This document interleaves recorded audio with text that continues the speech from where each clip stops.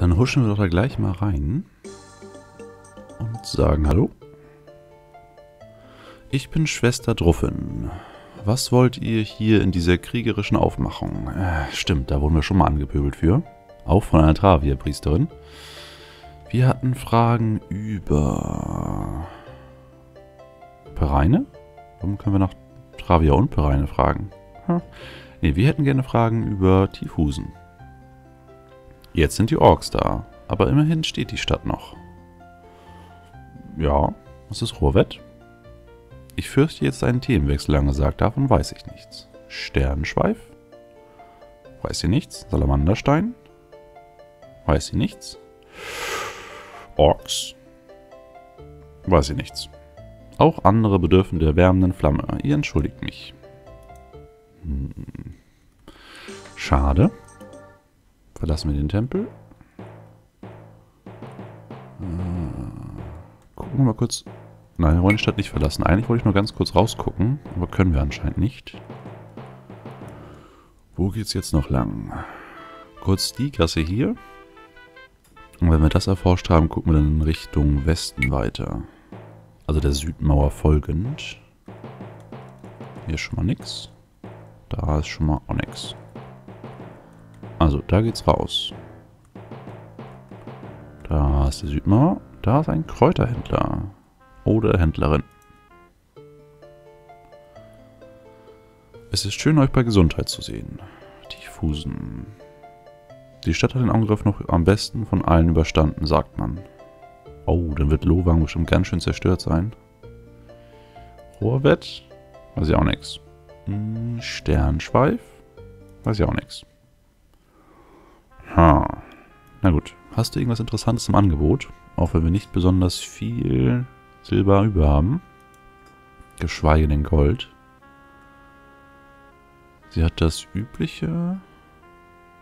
Kein Krankheitselixier.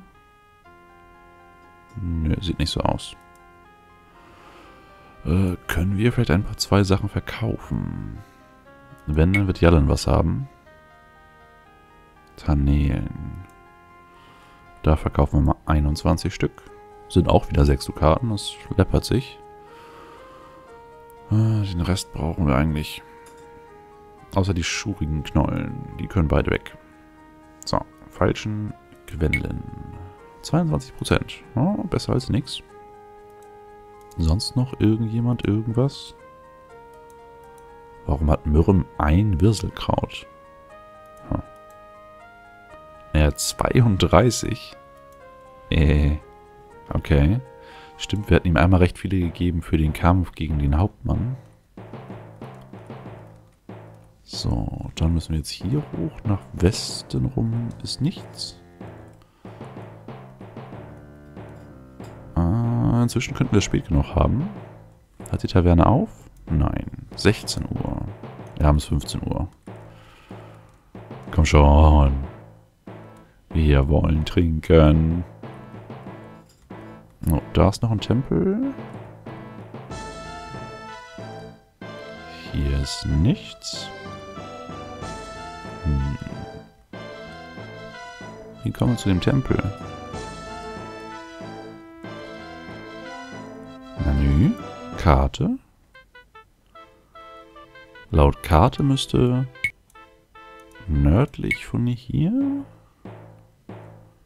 also entweder hier oder auf der Seite ein Eingang sein. Ah ja.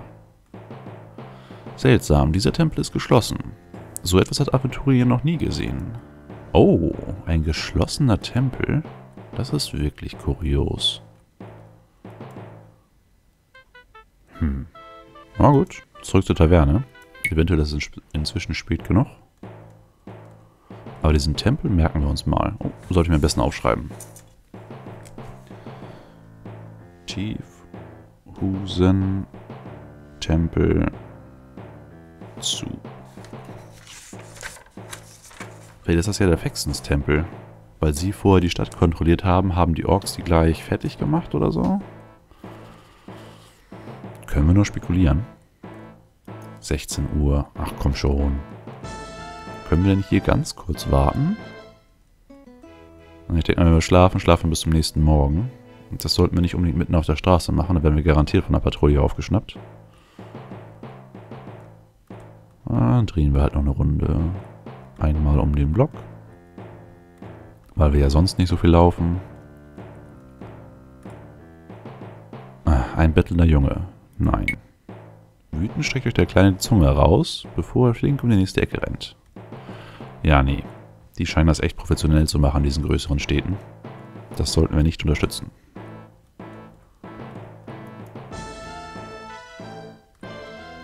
Wird es nicht später? 15 Uhr. Na gut, erforschen wir die Stadt weiter. Es gibt bestimmt noch andere Tavernen. Solange das nicht der Entenschnabel ist. Gucken wir mal ganz kurz, was auf der Plakette steht. Da ist Firons Gruß, da ist Dolch und Schwert. Da unten ist weite Welt. Firons Gruß.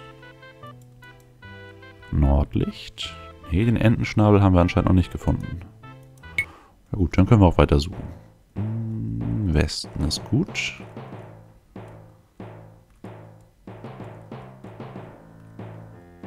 Hm. Oh, das könnte ein Waffenschmied sein.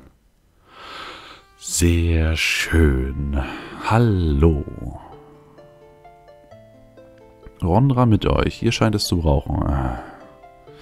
Okay, sie ist ein Arschloch, aber was soll's, sie hat Waffen. Am besten ist es, eine Waffe zu wählen, in deren Handhabung man geübt ist.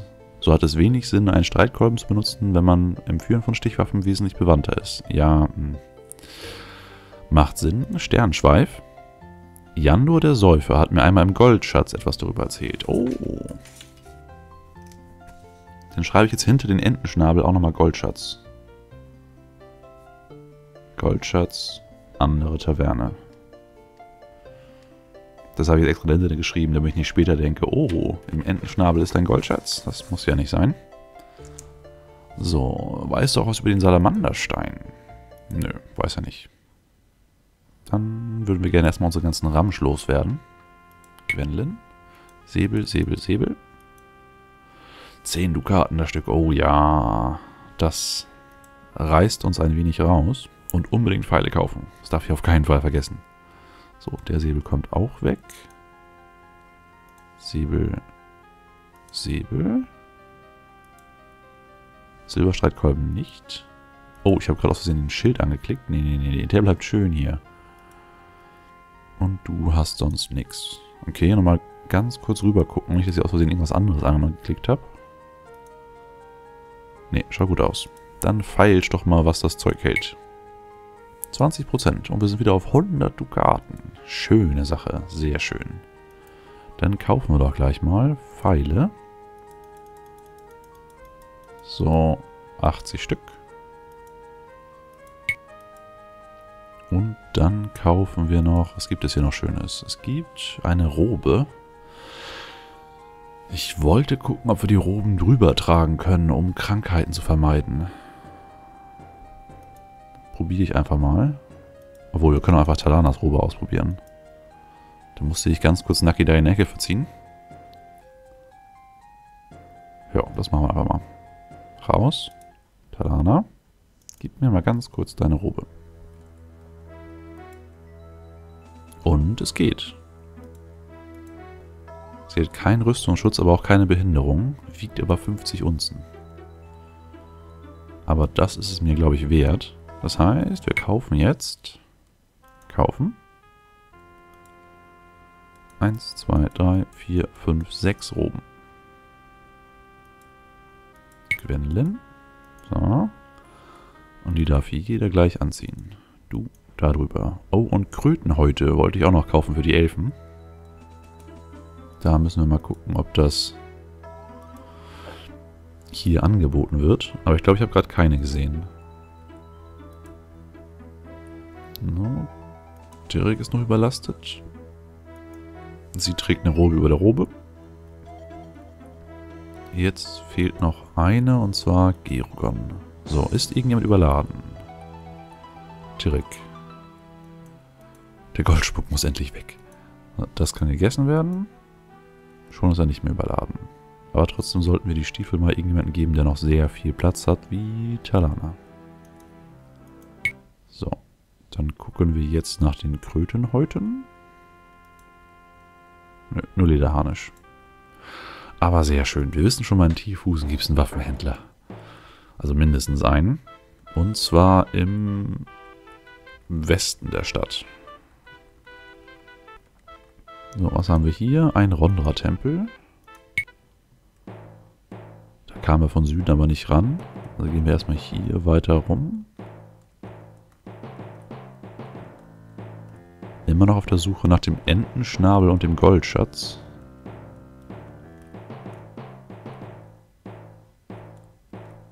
Äh, die Nordwand? Oh. Also nicht die Nordwand, das wäre ein wenig komisch, wenn wir die hier finden würden. Was haben wir hier? Eine Taverne. Zum Entenschnabel. Sehr schön. Wir würden gerne erstmal an die Theke. Und wir geben eine Runde für alle aus. Ja, das kostet viereinhalb Dukaten. Das ist es uns aber wert. Hoffen wir mal, dass sie diesmal besser drauf sind. Als wir letztes Mal eine Runde ausgegeben haben, war trotzdem niemand wirklich gesprächsfreudig, was ein wenig ärgerlich war. Aber wir sagen einfach mal Hallo. Hacketau, Kumpels, was darf es sein? Rohwett, keine Ahnung. Sternschweif, keine Ahnung. Tiefhusen? Ach, Schatzsucher, wie? Hm, schon wieder. Das war's aber mit ihm. Na gut, dann setzen wir uns doch mal an einen Tisch. Oh, es gibt keinen besetzten Tisch? Ah, ist doch albern. Ähm, na gut, dann äh, darf Jallen mal musizieren. Warum darf sie nicht musizieren? Mürren? Ah, wahrscheinlich müssen wir uns erstmal einen Tisch suchen. Na gut, wir setzen uns an einen freien Tisch. Und Mürren kann immer noch nichts machen. Kurios, kurios. Außer euch sitzt niemand am Tisch. Ähm. Das ist jetzt doof. An der Theke. Können wir wieder mit ihm reden. Äh. Orks? Mächtig kräftig, die Jungs geben bestimmt erstklassige Iman-Spiele ab, aber es fragt sich ja niemand. War Iman nicht etwas, wo man gewettet hat? Hm. Ja, der Wirt wünscht uns einen schönen Abend. Das ist jetzt ärgerlich, dass fast kein einziger Gast da war, den man hätte ausfragen können. Ja, wir merken uns, der Entenschnabel ist im Nord... Ah, eher Westen der Stadt. Ich gucke nochmal ganz kurz in den absoluten Nordwesten in der Ecke hier. Hier, damit die Karte vollständig ist. Und ganz in der Ecke ist ein Tempel. Wenn das mal kein Fexens-Tempel ist. Nö, vier Ruhen. Hallo, Tiefhusen? Ein verschlafenes Nest? Rohrwett? Kann ich nichts sagen. Hm. Ich glaube echt, dass dieser Fexens-Tempel zugemauert wurde. Oder abgeschlossen, wie auch immer. Na, ihr Süßen. Nein, danke. Äh, das da sieht aus wie eine Herberge, aber von der falschen Seite. Komm schon. Wir brauchen noch den Goldschatz. Oh, noch ein Ausgang. Nee, das ist ein abgeschlossener Bereich. So eine Art Festung. Aber ob wir da reingehen sollten, ich weiß ja nicht. Na gut, gucken wir mal. Nee, nein. Oh, was war das? Das war... Der Goldschatz. Oh, sehr schön. Da gucken wir nochmal rein. So, wir setzen uns gleich an einen Tisch, wo jemand anders sitzt. Nachdem ihr höflich gefragt habt, nehmen wir Platz. Wir hätten gerne sechs Bier und unterhalten uns mal. Jandor, was könnt ihr uns über Sternschweif erzählen? Sternschweif? Wusste ich nicht, wusste ich mal was drüber. Fällt mir vielleicht wieder ein, wenn ich noch so ein Bier trinken könnte. Oh, oh, ja, natürlich. Heda wird noch ein großes für diesen Herrn. Ja, Sternschweif, also, das Ding hat eine Menge mit dem ollen Fex zu tun. Nichts für ungut. Jedenfalls hört man so allenthalben. Ihr seid wahrhaftig nicht der Einzige, die nachgesucht haben. Oh. Möchte nur mal wissen, warum die alle hierher kommen. Gesehen habe ich dieses Prachtstück jedenfalls noch nie. Andererseits zeigen diese Fex-Leutchen ihre Beute ja auch nicht so offen herum. Ist ja auch kein Wunder. Ich meine, schließlich sind es ja nicht... Schließlich sind die ja nicht alle einfach nur ehrlich gekauft worden. Tja, also ich kannte da mal einen, der hatte zu Hause einen goldenen Leuchter. So ein Riesengerät mit langen Armen und jede Menge Blumen drauf und allem. Und an dem hat er sehr gehangen, weil der von der Mutter war. War ein bemerkenswertes, scheußliches Teil. Aber Geschmack ist halt immer so eine Sache, stimmt's? Also der Leuchter, ähm... Wie war das jetzt mit dem Sternschweif? Schon gut, schon gut. Ob ich wohl noch ein Bier? Ah, herzlichen Dank. Also wo war ich? Sternschweif. Jedenfalls, obwohl das Ding hier in Tiefhusen noch nie jemand gesehen hat, kommen immer wieder Leute hier vorbei, die es suchen. Ich frage mich nur, warum ausgerechnet hier? Es ist einer der größten Städte und ihr habt als einzigsten Waffenhändler. Ist zwar ganz hübsch hier, aber in so einem verschlafenen Städtchen sucht man noch keine Schätze. Also ist die Schatzsuche nach Sternenschweif und nicht irgendein anderer Schatz. Okay. Das heißt, das streiche ich lieber schon mal durch. Schatz in Tiefhusen wird durchgestrichen auf meiner Liste. So. Obwohl man da ja auch schon die tollsten Geschichten gehört hat. Da war zum Beispiel mal so ein Bauer, irgendwo im Bornland, der träumte eines Tages, in Festum lege ein Schatz auf dem Marktplatz. Und genau der kam aus so einem Nest, wie hieß es denn noch gleich? Ähm, ja, das ist bestimmt eine spannende Geschichte, aber was ist mit Sternenschweif? Ja, doch, ich habe ja verstanden. Meine Güte, macht Rena eine trockene Kehle. Das kann ich nur unterschreiben. Danke, danke, wirklich sehr aufmerksam. Er ist jetzt bei seinem dritten oder vierten Bier, das wir ihm ausgegeben haben. Also, hier in Tiefhusen gibt es jedenfalls keine Schätze. Aber dafür sind wir direkt am Orgland hier. Nee, jetzt heißt das ja eher im Orgland. Diese mistigen, stinkenden Schwarzpelze, Pelze diese. Naja, und diese Axt soll ja aus dem Orgland kommen. Das ist ja auch eine dolle Geschichte, die ich da gehört habe. Da sollen ja ganze Städte, Städte, voll von so komischen Elfenorks oder so sein. Und dann mittendrin irgendwie eine schrippige Eiche und dann... Ah. Wir kennen die Geschichte. Aber wo ist die jetzt, Mann? Ach so? Ist aber noch eine tolle Geschichte. Und tolle Geschichten machen mich irgendwie immer durstig. Danke, danke. Bier Nummer 5. Aber ich meinte eigentlich aufgeregt. Aber durstig machen sie auch. Stimmt schon. Aber deshalb kommen immer kommen sie immer hierhin, die Leute, meine ich. Aber hier ist sie nicht, die Axt. Ich könnte mir nur vorstellen, dass die vom Tempel noch was drüber wissen, vom Fex, ähm, Hoppla, Fex-Tempel, meine ich. Ja, den suchen wir auch. Da kommt er aber nicht so dran an die Leutchen. Da müsst ihr mal den tollen... Was zur Hölle, warum ist der Text weg? Mist. Ich habe nicht gedrückt, der war einfach weg. Ah. Ich gehe jetzt mal besser. Ob ich beim Aufstehen wohl mal kurz an die Hand packen könnte, nur so. Danke, geht schon. Macht's gut und passt auf euch auf. Ah. Ich gucke gleich mal ins Tagebuch. Ähm, ähm, ähm, ähm, ähm, Tagebuch. Er nichts aufgeschrieben. Mist. Wir suchen... Nein, kein neuer Eintrag. Da war suchen? Wonach soll gesucht werden? Nee, nee, nee, nee, nee. Verschiedenes. Nein. Suchen. Ich will nach Sternenschweif suchen. Handlung? Sternschweif. Nee, das hatten wir schon. Mist. Ah. Also gut. Suche abbrechen, raus hier. Das heißt, ich werde jetzt eh mal kurz abspeichern müssen. Und danach gucke ich mir diese Folge nochmal an. So lange, bis ich den Frame gefunden habe, wo dann drin steht, was in dem Text war. Das müsste ja ein, zwei Sekunden auf dem Bildschirm gewesen sein. Und dann melde ich mich gleich wieder und erzähle euch, was da gestanden hat. Trotzdem ganz schön ärgerlich. Na gut, abspeichern, neu. Ja. LP015. Und wir sehen uns dann gleich wieder mit dem Text, der weggegangen ist. Also bis denn.